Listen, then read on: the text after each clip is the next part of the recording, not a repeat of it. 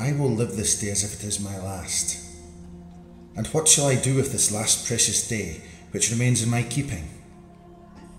First, I will seal it up in its container of life so that not one drop spills itself upon the sand.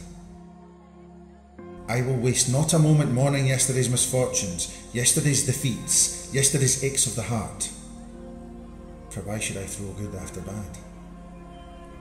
Can sand flow upward in the hourglass? Will the sun rise where it sets and set where it rises? Can I relive the errors of yesterday and right them? Can I become younger than yesterday? No. Yesterday is buried forever, and I will think of it no more. And what then shall I do? Forgetting yesterday, neither will I think of tomorrow.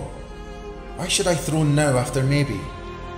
Can tomorrow's sand flow through the glass before today's? Will the sun rise twice this morning? Can I perform tomorrow's deeds while standing in today's path? Can I place tomorrow's gold in today's purse? Should I concern myself over events which I may never witness? Should I torment myself with problems that may never come to pass? No. Tomorrow lies buried with yesterday, and I will think of it no more. This day is all I have, and these hours are now my eternity. I greet the sunrise with cries of joy as a prisoner who is reprieved from death. I lift mine arms with thanks for this priceless gift of a new day. I am indeed a fortunate man, and today's hours are but a bonus, undeserved. I will avoid with fury the killers of time. Procrastination I will destroy with action. Doubt I will bury under faith. Fear I will dismember with confidence.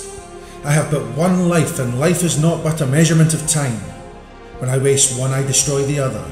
If I waste today, I destroy the last page of my life. Therefore, each hour of this day will I cherish, for it can never return. It cannot be back today to be withdrawn on the morrow, for who can trap the wind?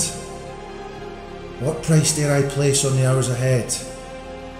I will make them priceless. I will live this day as if it is my last. And if it is not, I shall fall to my knees and give thanks.